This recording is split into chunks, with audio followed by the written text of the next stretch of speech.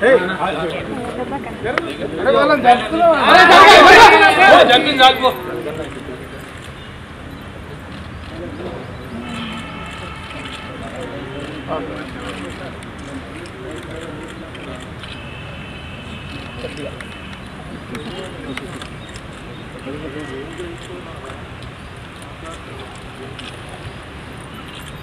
Raju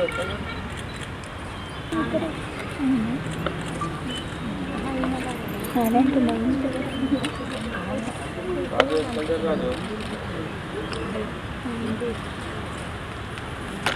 Tôm à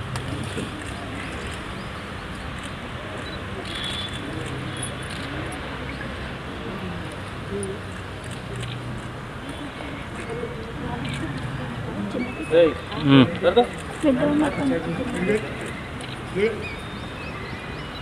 Được rồi hả?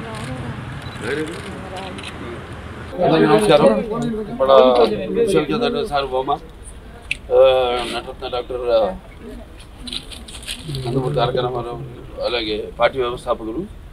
ఆయన ఈ ఇరవై ఎనిమిదవ వర్ధంతి సందర్భంగా అందరి ఆయన ఘాట్కి నివాళులు నడిపించడానికి ఇక్కడికి రావడం జరిగింది.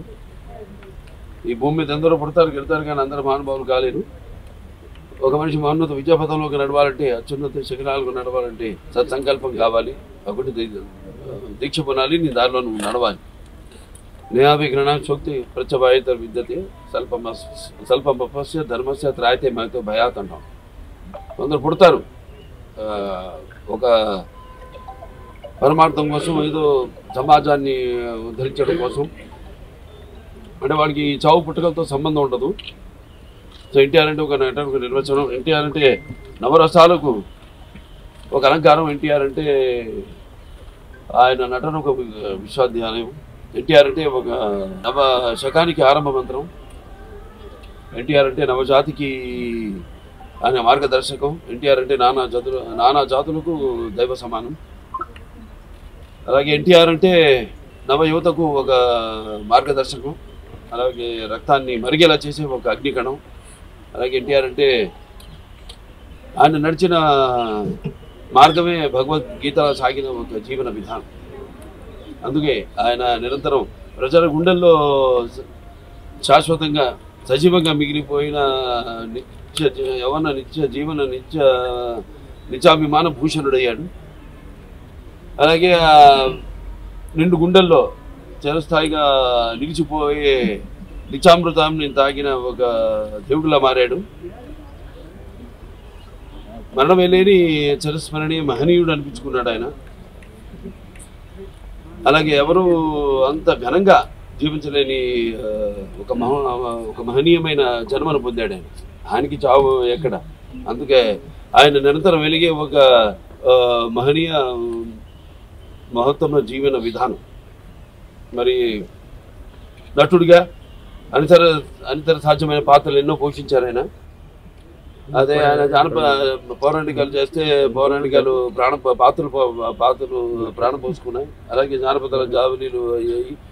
అలాగే సాంఘికాలు సామాజిక గమనాలు అయ్యాయి. అలాగే ఆయన ప్రపంచంలో మనం ఎక్కడ చూసినా అంటే అటువంటి నటధీరుడు అలాగే ప్రయోగాలు చేసిన నటనాచార్యుడు అలాగే పరకాయ ప్రవేశం చేసి పాత్రలో అణువులను నింపుకుని నటనకు న్యాయం చేసిన అటువంటి నటుడు ఇంకెక్కడ కాన రాడు. అది నేనే కాదు ప్రతి ఒక్కరూ ఒప్పుకొని తీరుతారు. అలాగే ఆయన కేవలం సినిమాలే కాదు ప్రతి తెలుగు బిడ్డ ప్రతి తెలుగు మట్టి గడ్డ నేను తెలుగువాణ్ణి అని సగర్భంగా చెప్పుకునే ఒక తమ్ము ధైర్యం ఒక తెగువ ఆత్మవిశ్వాసానికి పదును పెట్టి సానబెట్టి బయటికి లాక్కొచ్చి చెప్పించిన తెలుగు తేజం నందమూరి తారక రామారావు అలాగే తెలుగుదేశం అన్న పార్టీని పెట్టి అలాగే ప్రతి తెలుగు బిడ్డ బొడ్డు కోయిక ముందే రాజకీయాలు ఏంటో తెలిపిన మహానుభావుడు మహానాయకుడు నందమూరి తారక రామారావు అంతవరకు మరి ఆయన రాజకీయాలు రాకముందు వరకు చాలామందికి రాజకీయాలు పెద్ద రాజకీయాల మీద పెద్ద ఆసక్తి ఉండేది కాదు. అలాగే అసలు కొంతమందికి అయితే రాజకీయాలు అంటే ఏంటో తెలియదు అటువంటిది ఆయన ఒక ప్రజల్లో ఒక అవగాహనను తీసుకొచ్చి ఆయన పొలిటికల్ హీరో కూడా అనిపించుకున్నాడు నందమూరి తారక రామారావు ఇక ఆయన చేసిన పథకాల విషయానికి వస్తే ఎంతో సాహసోపేతమైనవి అలాగే అందరికీ సామాన్య ప్రజలకు ఎంతో అనుకూలమైనవి కూడా. తర్వాత ఆయన ప్రవేశపెట్టిన ప- రాజకీయాలు రాకముందు రాజకీయాలు వచ్చాక ఆయన ప్రవేశపెట్టిన ఈ పథకాలు అమలు చేసిన పథకాలు ఇప్పటికీ ఎందరో వాటిని ప్రవేశపెట్టి అమలు చేస్తున్నారు. అందుకే ఆయన పేదవాడి ఆఖరి తెచ్చిన అమ్మ నాన్న ఆయనే. అలాగే జనం యొక్క భవితకు భవిష్యత్తు చూపించిన నాన్న ఆయనే. అలాగే ఆయనకు తోడుగా ఉన్న ఆడపడుచులందరూ కూడా ఆర్థిక స్వాతంత్రాన్ని ఇచ్చిన ఒక అన్న కూడా అయ్యాడు ఆయన. మరి ఆయన ప్రవేశించిన పథకాలు ప్రవేశపెట్టిన పథకాలు ఈరోజు మొత్తం యావత్ భారతదేశంలో అన్ని రాష్ట్రాల్లో కూడా వాటిని అమలు చేశారంటే మరి కిలో బియ్యం రెండు రూపాయలకి అయితేనేమి లేకపోతే మహిళలకు ఆస్తిలో సమాన హక్కు అయితేనేమి అలాగే రైతులకు యాభై రూపాయలకి హార్స్ పవర్ యూనిట్ పవర్ ఇవ్వటం అయితేనేమి భూమి శిస్తు రద్దు చేయడం అయితేనేమి అలాగే ఈ యొక్క చేనేత కార్మికులు ఈ యొక్క చేయూత చేయూతనడం ఏంటి చేనేత వస్త్రాలు వాటి ద్వారా అలాగే పక్క ఇళ్ళ నిర్మాణం అయితేనేమి కాంక్రీట్ స్లాబులతో ఇల్లు ఇళ్ళ నిర్మాణం అయితేనేమి అలాగే విప్లవాత్మక సామాజిక మార్పులు ఎన్నో తీసుకొచ్చారు. దాంట్లో ముఖ్యమైనది తెలంగాణలో పటేల్ పటవారీ వ్యవస్థను రద్దు చేయడం అలాగే ఈ మాండలిక వ్యవస్థను స్థాపించడం అప్పటికి మూడు వందల ముప్పై తాలూకాలు అవి ఒక వెయ్యి నూట నాలుగు మండలాలుగా చేసి ప్రజల వద్దకు పాలన తీసుకెళ్ళి తీసుకెళ్ళేటట్టు ఆయన మండలాల వ్యవస్థను స్థాపించడం అలాగే ఈ సహకార వ్యవస్థ ద్వారా సింగిల్ విండో సిస్టమ్ రైతులందరూ కూడా కావాల్సినవన్నీ కూడా ఒకే చోట లభించేటట్టు అలాగే తెలుగు గ్రామీణ పథకం క్రాంతి తెలుగు గ్రామీణ క్రాంతి పథకం కింద ఈ యొక్క గ్రామాల యొక్క సర్వతోముఖ అభివృద్ధికి అయితేనేమి అలాగే మొట్టమొదటి మహిళా విశ్వవిద్యాలయం అయితేనేమి లేకపోతే ఈ ఎన్టీఆర్ ఆరోగ్య వైద్య విశ్వ విశ్వవిద్యాలయం అయితేనేమి లేకపోతే అలాగే గురుకుల విద్యా విధానం అయితేనేమి ఆశ్రమ పాఠశాలలు అయితేనేమి సంఘ- ఈ యొక్క సంక్షేమ హాస్టల్స్ అయితేనేమి అలాగే క్యాపిటే క్యాపిటేషన్ ఫీజు రద్దు చేయడం పేదల వద్దకు చదువును చదువులు తీసుకురావడం ఉన్నతమైన చదువులు తీసుకురావడం అలాగే ఈ భో జోగిని యొక్క వ్యవస్థల దేవదాసి వ్యవస్థలు రద్దు చేయడం అయితేనేమి?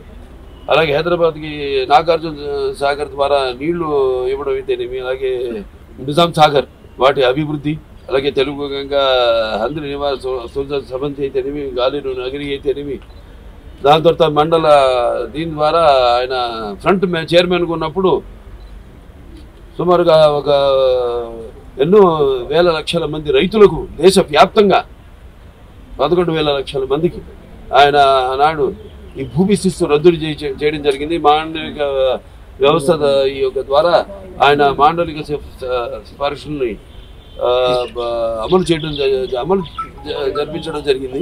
ఇంకా సర్కారీ అధీన కమిషన్ ద్వారా ఈ యొక్క రాష్ట్ర కేంద్రాల మధ్య వాళ్ళు ఒక అనుబంధాన్ని పెంచే విధంగా ఒక రాష్ట్రం కేంద్రంలో ఉన్న ప్రభుత్వం ద్వారా వాళ్ళ అవసరాలను ఆ కేంద్ర ప్రభుత్వం తీర్చేలా ఇంకా ఎన్నో ఎన్నెన్నో సా- అభివృద్ధి కార్యక్రమాలు అలాగే ఎన్నో ఆయన అమలు చేయడం జరిగింది. అన్ని వర్గాల ప్రజలు ఇలా చెప్పుకుంటూ పోతే మరి అటువంటిది. ఆ మహానుభావుడు ఆయన చేసిన సేవలు మనకు తెలిసింది స్వతంత్రం ఒక పోరాటం. మనం విన్నది కానీ చదివింది కానీ పుస్తకాలు మనం గళ్ళారా చూసిన మొదటి మొదటి ఒక యుద్ధం ప్రజల కోసం ఆయన అని త్యజించి ఆయన చేసిన సేవలు మరువనానివి ప్రతి తెలుగు వాళ్ళు ఇవాళ ఆయన ఇక్కడ తెలంగాణ అక్కడ ఆంధ్రాలో ఆయన ఈ యొక్క వర్ధంతిని పురస్కరించుకొని ఆయనకు ఘన నివాళులు అర్పించుకుంటున్నారు అందరూ తెలుగుదేశం పార్టీ కార్యకర్త కార్యకర్తలందరూ కూడా ఆయన ఆనాడు మరి ఎంతో మందిని విద్యావంతుల్ని రాజకీయాల్లోకి తీసుకురావడం జరిగింది. గ్రా- గ్రాడ్యుయేట్స్ అయితేనేమి పోస్ట్ గ్రాడ్యుయేట్స్ అయితేనేమి లాయర్లు అయితేనేమి డాక్టర్లు అయితేనేమి వివిధ వృత్తుల్లో ఉన్న వారిని తీసుకొచ్చి యువతకు ఆయన ఎంతో ప్రోత్సాహం ఇచ్చి ఆనాడు మరి తెలుగుదేశం పార్టీకి బాసటగా ఉండి ఆనాడు ఎనభై రెండులో పార్టీ స్థాపించినప్పుడు విధి విధానంలో మంత కూడా నడుచుకుంటూ ఆయన చూపించిన బాటలోనే కొంత కార్యకర్తలు అందరూ కూడా నడుచుకుంటూ ముందు ముందు తెలుగుదేశానికి ఇంకా భవిష్యత్తులో పునర్వైపు తీసుకురావడానికి అందరం శ్రమిస్తామని ఈ ఆయన ఆయనకు ఘన నివాళి అర్పించుకుంటూ నేను సెలవు తీసుకున్నాను